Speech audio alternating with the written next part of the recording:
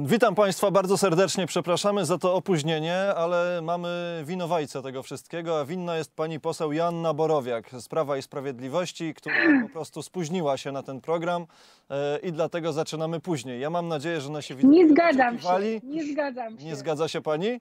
To pozwoli pani, że jeszcze pani oponentkę przedstawię i za chwilę pani się wytłumaczy. Joanna Staniszki z Koalicja Obywatelska, Platforma Obywatelska. Witam panie bardzo serdecznie.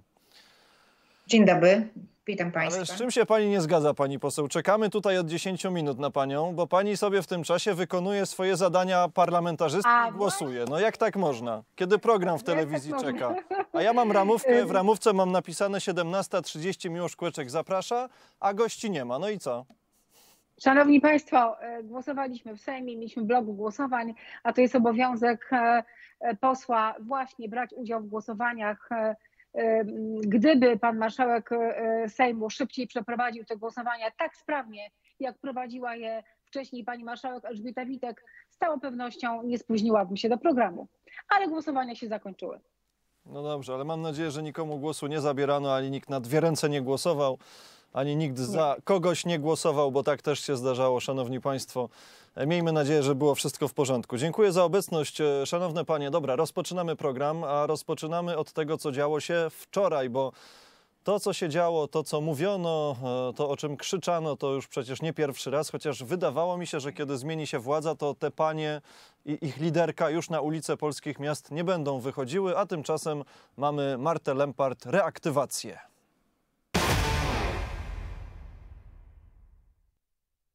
To k***a jest? Ludzie stali do trzeciej nad ranem, żeby zagłosować.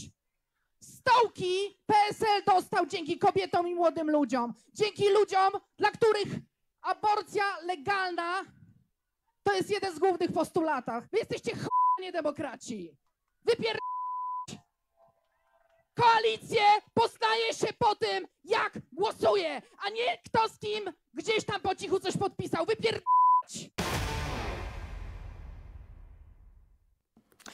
Stara, dobra Marta Lempart, y, jak się panie na to zapatrują? Platforma Obywatelska, czy Marta Lempart w swoim wykonaniu, bo przecież y, z takiego zachowania znamy Martę Lempart, to dzisiaj miód na pani uszy, koi panią, pani nerwy, czy może pani to przeszkadza i to nie jest ta estetyka, e, którą pani Janna Staniszki z, z Platformy preferuje?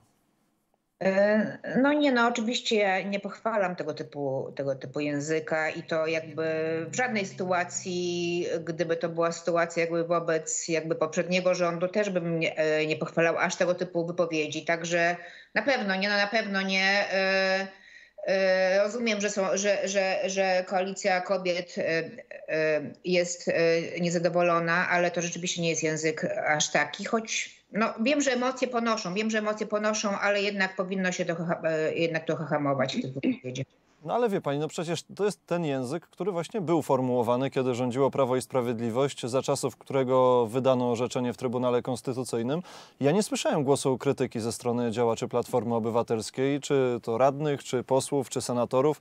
Państwo chwalili Martę Lempart, Donald Tusk robił Ale właśnie ja nie pamiętam, żeby aż ten język był taki jak w tej chwili. Ale pani, mówiąc. pani radna, no naprawdę, no ale rozmawiamy poważnie i uczciwie, Znaczy, tak? znaczy oczywiście Marta na- Lempart na- y, na pluła na policjantów, kazała im wypie i spie i byli hu i ku i to cały czas leciało. To jest ta sama zdarta płyta i wtedy to było zgodne z państwa estetyką i nawet Marta Lempart miała wam pomóc wygrać wybory i mobilizować ludzi, żeby wychodzili na ulicę. A dzisiaj pani twierdzi, że pani nie pochwala takich wulgarnych słów. Znaczy to jak mówię, pochwalam ostry język, ale może nie aż taki wulgarny, jak w tej chwili usłyszałam. No i yy, wiem, być może podobny język się zdarzał. Nie wiem, czy to było na scenie, to trochę inaczej wyglądało moim zdaniem. Wiem, że były transparenty yy, z, z gwiazdkami, z różnymi rzeczami i z, bardziej to były takie rysunki i może takie hasłowe wypowiedzi.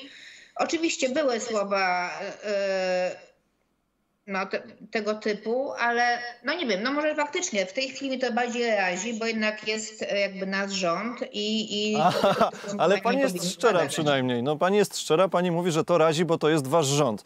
Dlaczego doprowadzono do tej sytuacji, żeby właśnie osoba, która wcześniej była waszym zapleczem partyjnym, po, powiedzmy taką przybudówką, e, bojówką uliczną, dzisiaj stanęła przeciwko wam? Dlaczego doszło do sytuacji, w której naprawdę nie potraficie wydaje mi się, może pani się ze mną nie zgodzi, ale wprowadzić w życie waszego sztandarowego postulatu, czyli liberalizacji prawa aborcyjnego. No, ta ustawa to nie jest liberalizacja, tak? To jest, to jest tylko depenalizacja To jest e, aborcji mniej, w tak, no, ale- przypadkach, ale ale, to jednak oczywiście to jest w tym, w tym kierunku. No cóż, no zabrakło czterech głosów i rzeczywiście to było, chodziło głównie o PSL w tym wypadku. W zasadzie... E, e, znaczy No wiadomo tylko, było, że, to będzie na, pani, że ta ilość głosów będzie na styk Mhm. no rzeczywiście tak się stało. No co mogę powiedzieć? No e, nie mamy, e, nie, e, no PSL był, był przeciwko, tam e, posłowie różnie głosowali, ale w większości byli przeciwko i zabrakło tych głosów. No, nie było, tego nie było w umowie koalicyjnej, więc poniekąd e, posłowie PSL mieli prawo tak głosować, bo to jest jakby e, zgodnie z ich sumieniem. No ale oczywiście, że ale było to jednak przegadane. E, Była komisja, która się zajmowała tą sprawą i wydawało się, że jest szansa, że to będzie przegłosowane, więc stąd jest, są te emocje. Ale rzeczywiście tutaj Marta Lempart ma rację, że jednak no, koalicja nasza w dużej mierze wygrała te wybory dzięki kobietom, dzięki młodym ludziom, którzy stali niektórzy do tej czwartej rano we Wrocławiu i Tutaj dlatego tym bardziej niektórzy posłowie powinni się zastanowić e, trzy razy, jak powinni głosować. Bo jeśli się na granicy tak czy tak, to może powinni się jednak przechylić i zrobić coś dla kobiet i dla młodych ludzi, dzięki którym weszli do Sejmu. Dzięki którym mamy e, rząd, jaki mamy. A uważa pani, że to był błąd teraz z perspektywy czasu i tego, że nie udało wam się zliberalizować prawa aborcyjnego czy zdepenalizować pomocnictwa przy aborcji, e, wchodzenia w buty lewicy? Czy to był błąd, że Platforma tak mocno weszła w buty lewicy, przejmując elektorat lewicy i przejmując hasła lewicy jeszcze bardziej się radykalizując niż sama lewica w tych aspektach światopoglądowych? Nie, ale to chyba nie jest prawda, że Platforma się bardziej radykalizuje. Znaczy Donald Tusk, e, jak tworzył listy e, do Sejmu, on wyraźnie mówił, że nie będzie przyjmował, no ale tutaj akurat przyjął pana Giertycha, to jest chyba jeden wyjątek, nie będzie przyjmował osób e, konserwatywnych, i które rzeczywiście w tych sprawach światopoglądowych będą przeciwni jego linii, którą on zaprezentował wcześniej, właśnie legalną aborcję do 12 tygodnia i tak dalej. I rzeczywiście e, pan Goethe chyba jest jedyną osobą, która jakby tutaj jest wyłomem, no ale powiedzmy, że ma inne zasługi. Wiem, że wiele osób się nie dostało na listy, które miało takie poglądy. No i tak, no ja się z tym zgadzam. Ja się cieszę, że, że, że Platforma to promuje, bo to są też moje poglądy i wielu osób, wielu osób, członków. Także nie, nie uważam, że e, akurat e, w tych sprawach mamy podobne zdanie co lewica. to, to jeszcze, przepraszam, już pani poseł Borowiak oddaje głos, ale chciałbym jeszcze jedno ustalić. Wczoraj na naszej antenie padło takie sformułowanie ze strony pani, mm, pani profesor Joanny, Se, przepraszam, e, Joanna. Joanny Senyszyn, tak? Dobrze? Joanna Senyszyn. Tak, tak. Imię, bo dzisiaj same Joanny. Joanna Borowiak, Joanna Staniszkis i Joanna Senyszyn wczoraj. Pani Senyszyn była uprzejma powiedzieć, że dokonanie aktu aborcji, czyli usunięcia dziecka z łony, dziecka z łona matki, to jak wyrwanie zęba. Y, Czy pani z Platformy się zgodzi z takim sformułowaniem, że naprawdę mamy sprowadzać ten, ten zabieg medyczny do, i porównywać do wyrwania zęba? Pani również odpowiada tego rodzaju terminologia? Nie, nie odpowiada mi, ale znaczy, może tak, e, z tego co się orientuję, to kilkadziesiąt procent e, aborcji to jest rzeczywiście przy, przy pomocy takiej e, pastylki poronnej, wczesnoporonnej i to nie jest żaden zabieg, tylko rzeczywiście jest to sprawa taka medyczna, znaczy medykamentu, tak, chemii, która zadziała i to jest, jeśli wtedy trudno mówić o dziecku, jest to zarodek dosłownie milimetrowy. Więc, e, więc to w tym sensie nie jest jakiś skomplikowany zabieg, ale tak czy inaczej językowo bym tego nie porównywała do, do, do wyrywania zęba, bo to po prostu nieładnie brzmi. Dla kobiety, która, uleg, która decyduje się na aborcję, czy wcześniej, czy później, czy pomocą pastylki, czy zabiegu, to jest, e, znaczy ja szczęśliwie tego nigdy nie, nie musiałam robić, natomiast e, to, to na pewno jest ciężkie przeżycie i to na pewno jest o wiele więcej niż jakieś tam wizyta u dentysty, bo nawet jeśli jest to legalne i tak dalej, e, to jest to po prostu ogromna, trudna decyzja i zostaje z tą kobietą na całe życie, ale też po prostu czasami jest to jakby mniejsze zło. W sensie ta aborcja, więc... To jest e, pytanie, nie, nie, nie pytanie już z takiego świata, świata materialnego, w świat metafizyczny byśmy przeszli i zadali pytanie, kiedy Bóg daje duszę takiemu organizmowi, czy to już w tym momencie tabletki dzień po już ta dusza jest i tę duszę się pozbawia możliwości dalszego rozwoju. Ale nie będę teraz o No, takiej ja też uważam, transcendencji. że zwierzęta Joanna- mają duszę, więc to jest chyba inna dyskusja w tym momencie. No, zwierzęta pewnie też mają duszę. Nie wiem, czy mają duszę, czy nie mają duszy. Wydaje mi się, że mają.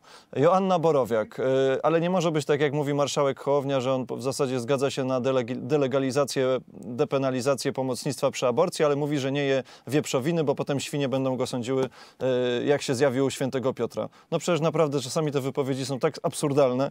Pani poseł Borowiak, zwracam uwagę na to, co powiedziała nam pani Staniszkis, o tym, że dzisiaj Pewnie dlatego to razi obecną władzę czy Platformę Obywatelską, bo te słowa krytyki są pod ich adresem wypowiadane. Wtedy, ja nie mówię o pani tutaj obecnej naszym gościu, ale wtedy posłów Platformy Obywatelskiej absolutnie nie raziło to, kiedy te wulgarne hasła były kierowane w stronę PiSu. Te wulgarne hasła nie, raziło, nie raziły posłów e, e, opozycji e, wtedy, kiedy my sprawowaliśmy władzę i nie rażą w dalszym ciągu, z tego co widać, do chwili obecnej, bo ja nie zauważyłam absolutnie słów krytyki. Nawet pani radna w tej chwili próbowała usprawiedliwiać panią Martę Lempart i mówić, że to aż tak, że, że to nie były aż takie wulgaryzmy. No, szanowna pani, to jakie mają być, żebyście reagowali? I chcę powiedzieć, że szybko poszło. Szybko poszło, bo y, y, pani Marta Lempart y, i cała grupa osób, które wczoraj protestowały przed Sejmem, uderzają w koalicję 13 grudnia. Takie hasło ukuto wczoraj od Giewontu aż po Hel, tralalala, PSL, a tam w środku tego tralalala to te pięć gwiazdek.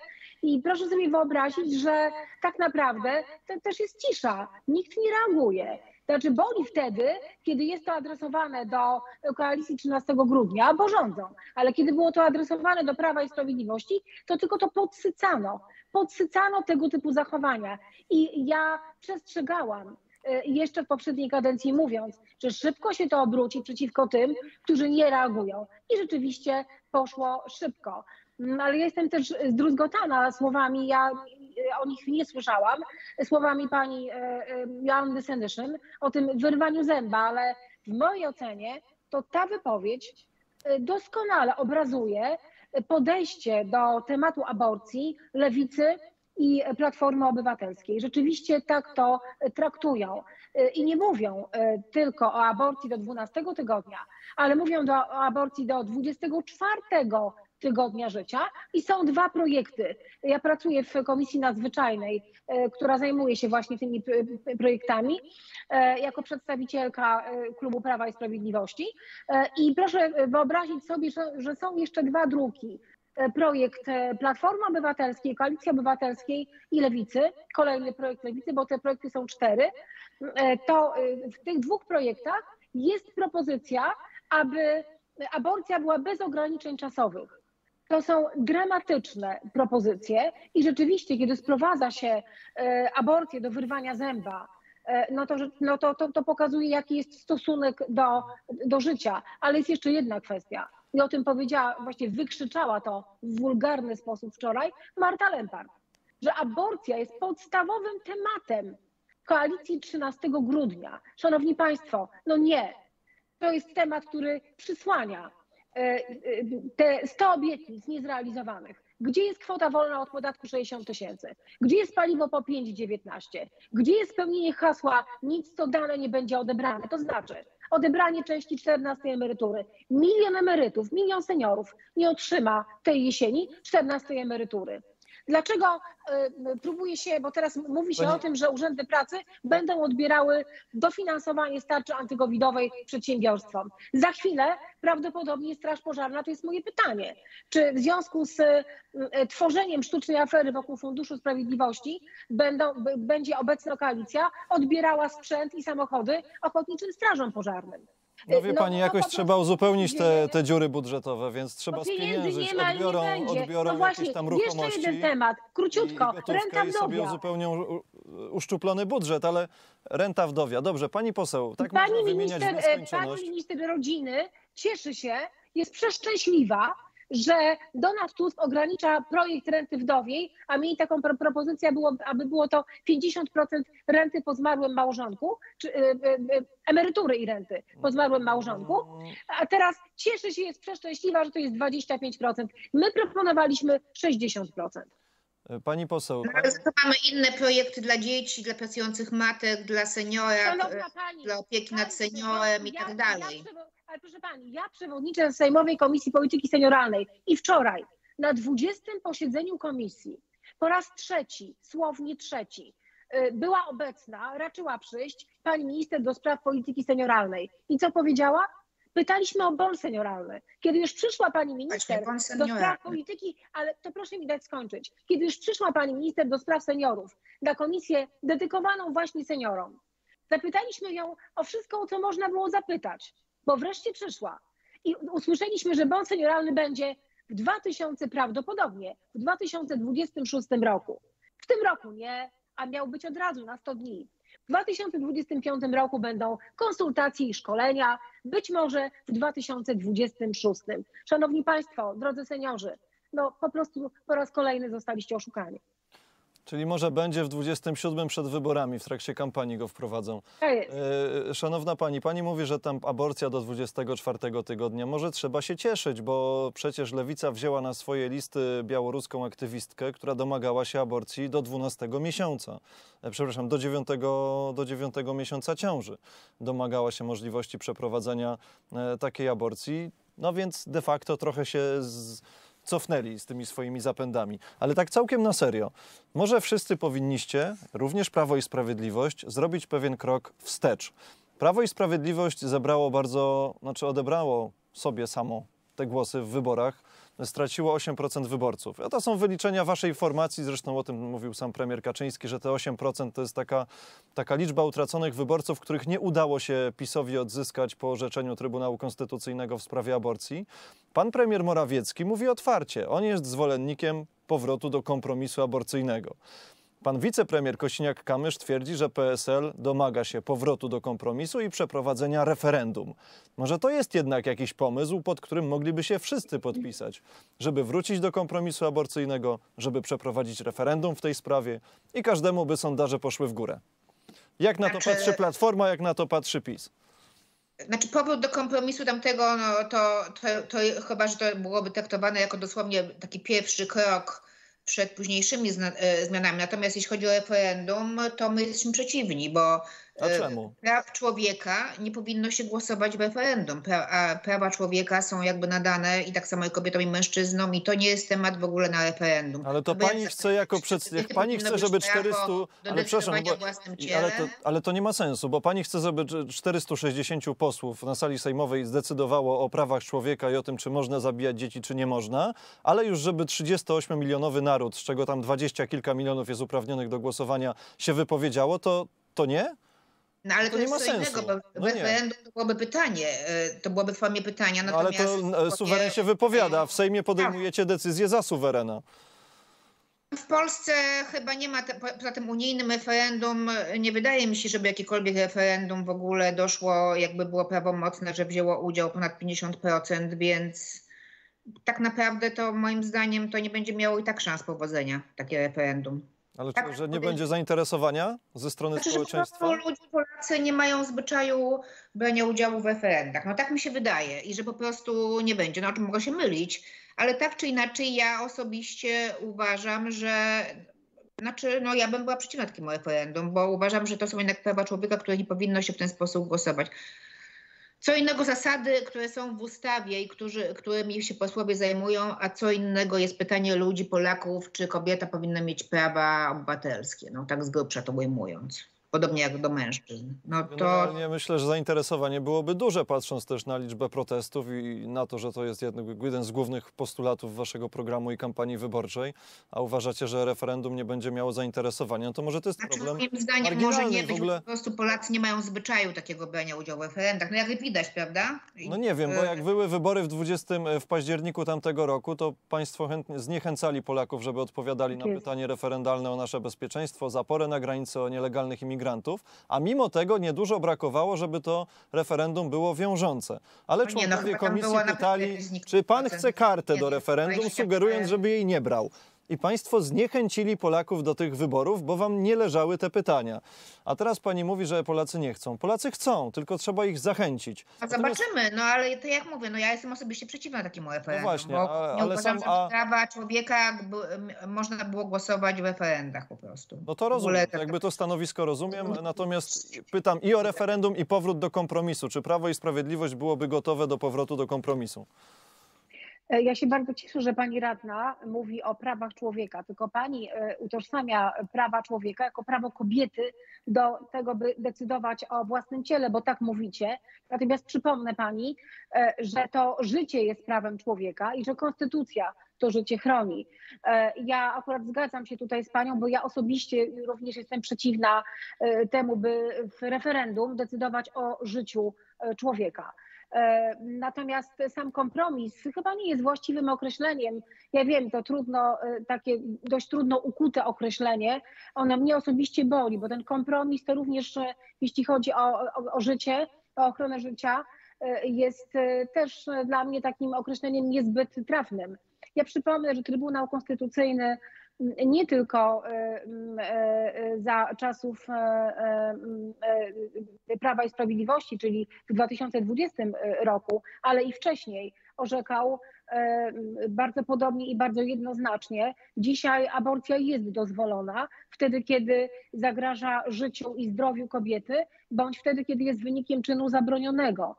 Więc trudno mi tutaj mówić o powrocie do kompromisu, dlatego że i e, m, e, e, Trybunały wcześniej dwukrotnie i e, pana e, e, pod kierunkiem profesora Rzeplińskiego i pana Cola również identyczne orzeczenia zostały wydane, więc e, jest to jakby jednoznaczne. Ale mimo tamtych orzeczeń jednak trzecia przesłanka była dozwolona.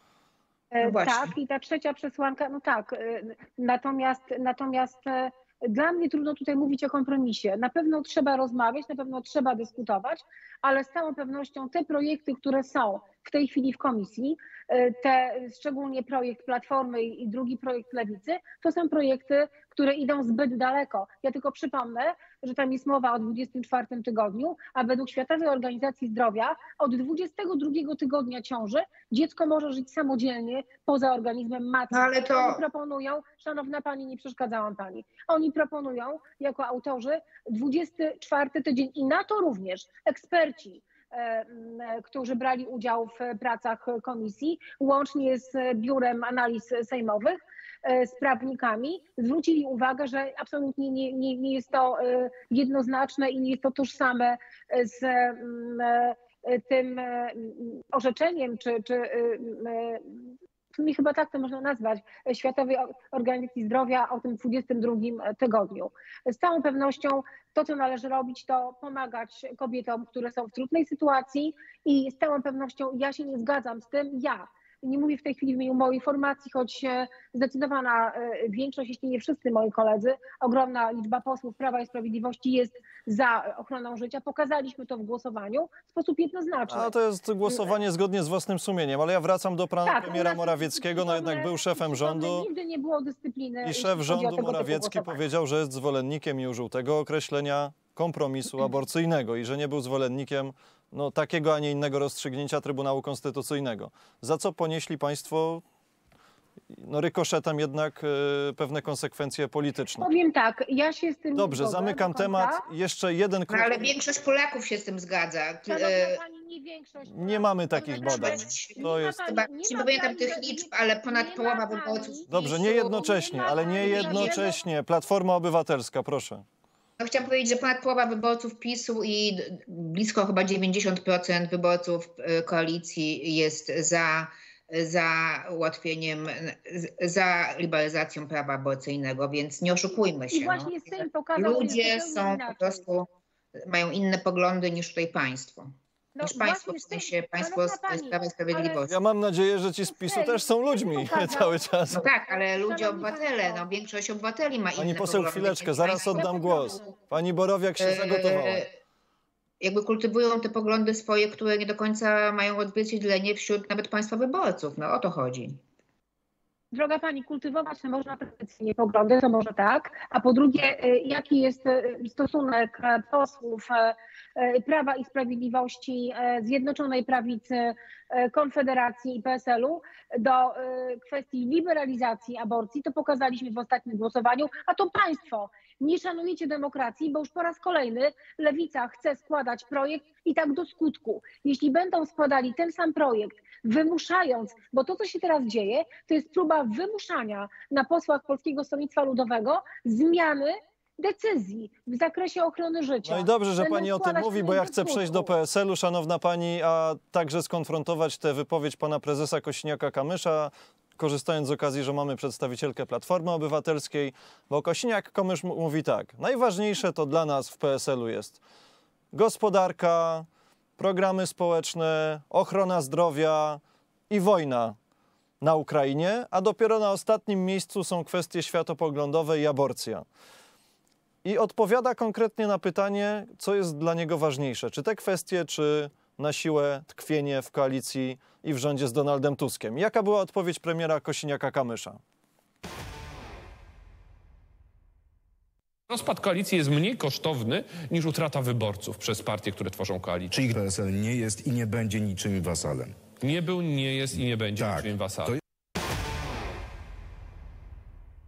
To jest takie zdanie klucz, bo Kośniak-Kamysz mówi, że utrata wyborców jest y, bardziej kosztowna niż rozpad koalicji, czyli daje Tuskowi do zrozumienia, że jeżeli dalej będziecie tak mocno forsować liberalizację prawa aborcyjnego, to być może PSL wam tę większość rządową zabierze, bo każdego dnia, kiedy ten temat jest na ustach opinii publicznej, PSL traci poparcie wśród swojego e, elektoratu. I tak dobije do tej linii poparcia progu wyborczego, a potem spadnie poniżej progu wyborczego, o ile już nie spadł poniżej progu wyborczego. Ale PSL Pytanie- chyba jest cały czas poniżej progu e, No jest wyborczego. pewnie, no ale może spaść, wie Gdyby pani... nie koalicja, to by ich w ogóle nie było w rządzie przecież. No, no to co, teraz będziecie na nich wymuszać, forsować? Pytanie, czy pani uważa, e, że Donald Tusk będzie dalej forsował tą liberalizację, czy Kośniak-Kamysz wyjdzie z tego rządu, e, czy jednak dojdziecie do jakiegoś kompromisu? Znaczy moim zdaniem e, ta ustawa będzie jeszcze głosowana, na pewno będzie jeszcze no, kolejna próba, a to, że Kośniak-Kamysz chce wyjść z rządu i stracić ministrów, czy może nawet marszałka, jeśli chodzi, jeśli chodzi o, o, jeśli będą razem z trzecią drogą, E, a jeśli sam, to straci swoich ministrów, więc ja nie wiem, czy takie dla, to będzie dla niego opłacalne wyjście z koalicji, szczerze Ale to mówiąc. do czego pani sprowadza ta polityka? Rzeczywiście się tylko do stołków sprowadza, czy do tego, żeby realizować program? Ale skoro Kośniak-Kamysz mówi w ten sposób, że dla niego nie jest nieważna koalicja, no to e, też e, musi liczyć z różnymi konsekwencjami, tak? To nie jest przecież, e, ja nie mówię, że tylko do stołków, ale też między innymi no, do różnych, do, do bycia ministrem, czy nie, tak? No tak, ale Więc, on, e, jakby on odpowiada, on odpowiada przed swoimi wyborcami za to, do czego się zobowiązał. A Kośniak z Hołownią zobowiązali się do tego, i to było u nich jedynką, że obniżą składkę zdrowotną. Minęło 7 miesięcy waszego rządu, ani słychu, ani dychu o obniżonej składce zdrowotnej. Oni się już tam zagotowali w tej trzeciej drodze i de facto Kośniak-Kamysz mówi, albo będziecie realizowali nasze postulaty, albo my wyjdziemy z tej koalicji, no bo to tak to należy rozumieć. To jest oczywiście Ale jak ładnie obudowane. koalicji, to już w ogóle e, ich postulaty będą na szarym końcu. Też tak można do tego podejść. No tak? dlaczego? Ja to- słyszę, że tu Konfederacja i PiS są gotowe do nowej większości. No, zobaczymy. Miejmy nadzieję, że nie i że to się jednak mimo wszystko nie nastąpi i nie uda. No ale oczywiście wszystko jest przed nami, tak? Tak czy inaczej, ja uważam, że, że koalicja w tej chwili rządząca będzie jeszcze forsowała, próbowała forsować ten projekt y, o aborcji. To PiS, jak długo Kosiniak będzie pod butem Tuska? E, No, to jest pytanie przede wszystkim do pana y, Kośniaka-Kamysza, ale ja chcę się odnieść do jednej bardzo ważnej rzeczy, że Donaldowi Tuskowi tak naprawdę jest na rękę podgrzewanie tych tematów e, proaborcyjnych, bo to odciąga kompletnie uwagę od tego, e, czego nie robią, a powinni, od tego, co się dzieje. Proszę zauważyć, drastyczny wzrost cen e, prądu, e, cen gazu i teraz ceny wody, uwolnione ceny wody y, gdzie Wody Polskie wyrażają zgodę na podwyżki w samorządach. W moim mieście Włocławku ponad 40% y, podwyżka wody i ścieków. Y, Są miasta w Polsce, w których te podwyżki są 20% y, i też o to będziemy jutro pytać. Będę osobiście o to pytać jutro w ramach pytań w sprawach bieżących w Sejmie właśnie o ceny wody w Polsce i to, i to właśnie minister y, z PSL-u zarzekał się i mówił, że my straszymy społeczeństwo i mówił o tym, że ceny wody nie wzrosną. Te ceny w, w, w sposób drastyczny wzrastają, bo ponad 40% to jest ogromna podwyżka. Jeśli dodamy do tego podwyżkę prądu i gazu, to jest to naprawdę sytuacja dramatyczna dla wielu polskich rodzin. A Miejskie Przedsiębiorstwo Wodociągów i Kanalizacji we Wrocławku czym tłumaczy wzrost cen wody i ścieków? Podwyżkami prądu i gazu. I tak tłumaczą inne samorządy, mówiąc, używając, e, mówię o samorządach, e, w których rządzą przedstawiciele koalicji 13 grudnia. Tak akurat jest w moim mieście Wrocławku. E, I tak naprawdę mówią e, samorządowcy nie o podwyżkach, tylko uwaga, słowo wytrych, słowo klucz e, e, tej koalicji, o urealnieniu cen. I proszę popatrzeć, e, chcą wyprowadzić po raz kolejny m, ludzi na ulicę e, pod pretekstem właśnie tej ustawy e, po raz kolejny składanej, a może jeszcze po raz kolejny liberalizującej e, e, dostęp do aborcji i depenalizującej pomocnictwo w aborcji, tylko po to, że to jest moja ocena, żeby odwrócić uwagę od tych e, spraw, które są tak naprawdę e, niezwykle ważne, dotykające pani, Polaków, bo to nie jest główna sprawa. Język chcą, polski jest bogaty i różnorodny. Pani mówi urealnienie. Pamiętam, że kiedy Bogdan Klich. Bogdan Ja Klich jest zmniejszał. Kiedy Bogdan Klich zmniejszał wydatki na polską armię i obniżał wynagrodzenia funkcjonariuszom e, sił zbrojnych, mówił o racjonalizacji. Więc tu mamy urealnienie, tam mamy racjonalizację. racjonalizację. Ładnie można ubrać w słowa to, że pieniędzy nie ma i nie będzie, a żeby elokwentnie i z gracją zakończyć pierwszą część programu, to zadam panią pytanie, czy wiecie, dlaczego polityka ciepłej wody w kranie już Polakom nie wystarcza? No bo woda jest za droga. Dziękuję. Idealna Ja też jeszcze chciałam dodać, jeśli mogę, o tej wodzie. Też z najnowszych badań wynika, że Polska ma już poniżej granicy, jest takie minimum, to jest zdaje się 1600 metrów sześciennych na, na obywatela powinno być, na, na mieszkańca no, Polski, y, kraju y, wody i w Polsce już jest y, 1500 czy poniżej tego, czyli mamy mało wody. Wody nam może zabraknąć. W związku z tym, I też pani, y, należy nakłaniać ludzi do oszczędzania wody, do oszczędzania wody, Aha, do oszczędzania. Aha. no do oszczędzania. Będziecie Państwo ja nie mówię, że podwyżki to jest- żeby jeśli ja mogę, przepraszam, Ale nie przerywajcie sobie, szanowne panie. Pani poseł Borowiek, bardzo proszę. Właśnie, Pani poseł z e, Platformy czeka, także już... To nie jest e, najlepsza metoda, żeby ludzi edukować, ale z tym razem powinna iść edukacja o tym, jak ma, mało mamy wody tej gruntowej czy głębinowej w Polsce. E, Chyba 20% do pi- wody z rzek się nadaje w ogóle do picia, więc nad tym się powinniśmy też zastanowić, nad katastrofą w ogóle klimatyczną, ale między innymi brakiem wody. I w tym kierunku, w kierunku edukacji iść. Muszę kończyć, szanowne panie. Planeta płonie, a woda ma to do siebie, że z gór spływa do morza. Zresztą, być może, jeżeli woda będzie coraz droższa, to powstaną firmy, które będą. No bo można mieć studnię głębinową. Ciekawe, jak to jest w mieście. Czy jest taki dostęp? Wtedy osiedla Są mogłyby te sobie... wody oligoceńskie Wtedy- przecież. e, Wtedy w osiedla, blokowiska też mogłyby się doposażyć w takie studnie głębinowe i za darmo ta woda byłaby Ale w również. ogóle, Nie tylko w domach e, jednorodzinnych. są. To niezły pomysł na biznes. Wo- e, w razie wojny, prawda, te studnie jakby są też konieczne w ogóle tego typu głębinowe studnie, żeby były w miastach. I chyba Czyli są, tak rozumiem, w Warszawie. Nie wiem, czy w Warszawie są, czy to jest legalne w mieście, czy nie. Są studnie oligoceńskie. Ale poza oczywiście. miastem y, oczywiście studnia głębinowa, swoja woda darmowa, dostępna, tylko pewnie szybko zostałaby opodatkowana. Szybko zostałaby opodatkowana.